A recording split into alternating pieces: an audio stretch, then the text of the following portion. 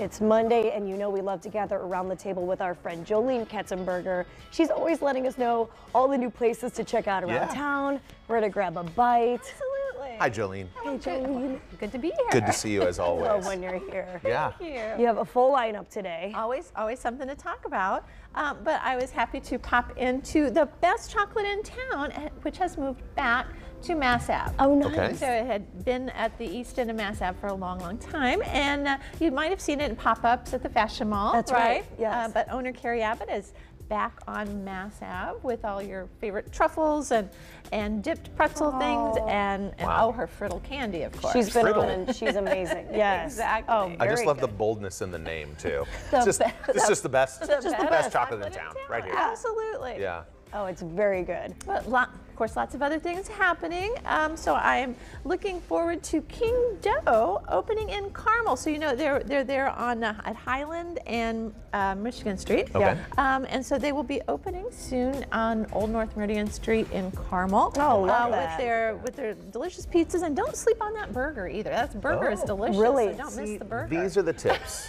These These are the tips are the that you inside need to hear. Because you would think pizza King- joint, King Dough, right? But they have an excellent burger. don't sleep on You the know burger. what? I wouldn't have tried it, but now that you say it, There you go. We kind of I'm have, gonna have to. Yeah. Yeah. Uh, speaking of burgers, I want a nice little segue there. So, Smashed, Okay. um, a smash burger concept will be opening in Irvington on Johnson Avenue. That's the former Bougie Biscuit location. Ah. Remember that? Oh. Um, and so they will be opening not, but not today, like like people might have been looking forward to, but later in the month. Okay. Okay. So okay, it is later in the coming. It is coming soon. Yeah, So just that- want to make sure so everything's that's good. That's smooth right. for the opening. That's right. Okay. I don't blame those them, Delicious yes. smash burgers there as well. So. All right. Um, and then uh, I guess I was on the east side this week. So up at uh, near 75th and Shadeland, um, Alib- the former Alibi's Grill will be becoming another Lincoln Square pancake Oh, house. okay. Okay. More Lincoln Square pancake Yeah. houses. They, so recently opened downtown on Market Street. Yeah. of course, there's one in Irvington as well.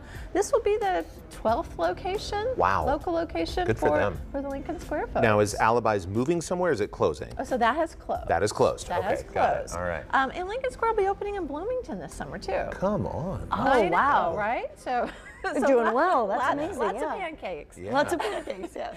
Um, and then, um, you know, you mentioned the farmers market. Well, they'll this is the big weekend, the big week for the farmers markets to to be back outside. Yeah. Mhm. Um, and keep in mind that the Broad Ripple Farmers Market is moving back to Rural Street behind the Lowe's in Glendale. Okay. So Okay, they have been on. North Meridian Street at Second Presbyterian Church for the past couple of years, and now they will be back in, in Broad Ripple behind the Lowe's or in Glendale. Okay. Okay, Good to perfect.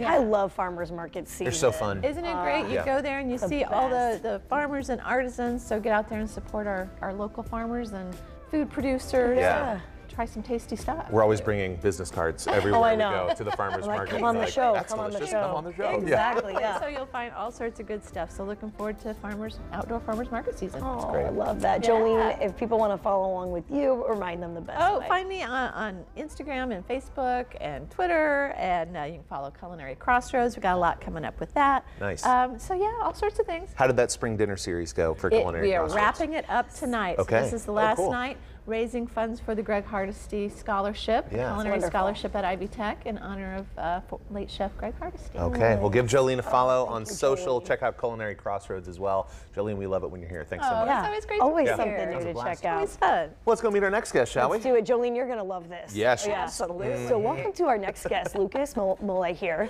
He has some big news about a wine festival coming to town. And that's right, Jolene, you heard that, a wine festival.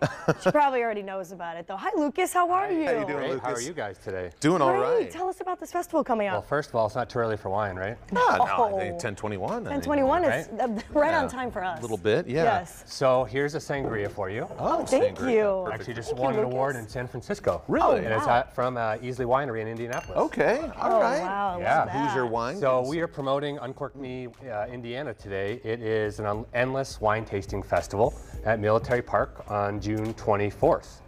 Uh, Lucas, this sangria is fantastic. This is It's dangerous, right? nice. It is oh, that's sneaky. Yeah. You Yeah. could be just sipping on that all day and then, you know, whoop, you gotta said it's careful. a it's an all-day endless wine fest. Well, not all day. Okay. 3 to 7 p.m. Three to seven. Okay. So we do it in moderation. yes. Yes, and you do have food there, so that you can pace yourself. You can have some food, Yep. and you've got live entertainment. It's gonna be a blast. So we have 34 uh, Indiana-specific wineries, meaderies, and cideries. Wow. Okay. Uh, seven local food carts. I'm a f- I'm an event junkie, so I like Mm-hmm. making an event that I want to go to. Yeah. Uh, and then three different forms of entertainment. So first we'll have uh, dueling pianos. Oh, Playing fun. the entire four-hour set. I told them that their goal was to make me dance, and I don't dance in public very often. Okay. Probably shouldn't have told you.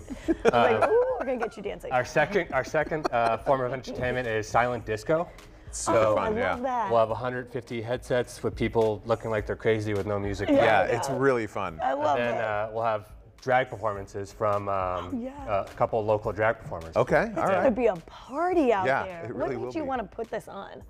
So we do this event uh, in Madison, Wisconsin, uh, Wisconsin, which is where we're based out of as well, and uh, we do it in Portland, Maine. So Okay. just uh, a love for attending events and a growing love for wine. Uh, I'm no expert by any means, but I do enjoy sampling sangria every It's now and delicious. We say the same. We're no experts, but we will Very we will nice. sample whatever you have for Yeah. us. And I know you're representing a lot of local places here. Yes, ma'am. So what did you bring today? So today we have a couple from Easley Winery. Uh, this is their primary brand, Easley. Um, and then they also do the sangrias as well, which is what you guys are drinking. Super delicious. delicious. Yeah, that's great. This is all from my personal collection, by the way. I try, Okay. I try to visit all of the wineries prior, just so I can get to know the winemakers Yeah. And Nice. build that connection. That's great. So I've been going around all over the state. Uh, right here we have uh, Buck Creek. Sure. This is also based out of Indian, Indianapolis. Yeah. Their uh, favorite one they have is the Yee Yee. So anytime you order this in their winery, they go Yee Yee. Okay. All right. Did you know that? Taylor knows that. Yeah. Yeah. Yee yee. Yee yee. All right. Is that how you say it? Yeah. You did it right? Yeah. That's fun. It's fun to say. So that's what we have here in the middle. And then on our far left, we have uh, Brandywine Creek as well. Oh, okay. Nice. So it's Yeah, right great. down the street from Buck Creek. Oh, that's awesome. Fantastic. Yeah. Well, this is incredible. Let's remind everybody where they can get those tickets. Yeah, for sure. You can get your tickets from brothersmolloyevents.com. Molloy spelled M-O, the Irish way, not the American way. Okay. Uh, or you could follow us on Facebook or Instagram at Brothers Molloy Events. Great. Well, Lucas, thank you so much. yeah. Thank you. And Cheers. cheers. Yeah. Thank Go you for check it bringing out. some of your wine here. Uncork Me Wine Festival. Go get tickets there. Brothers Molloy Events. Give them a follow on Facebook and Instagram as well. Thanks, Lucas. Thank you. Well, coming up next, we're going to introduce you to an inspiring young man who's benefited from the therapeutic services at Riley and tell you how you can contribute to Riley's mental and behavioral health campaign for local youth this month. That's right. We have more amazing, positive local content coming your way right after this break. We'll see you soon.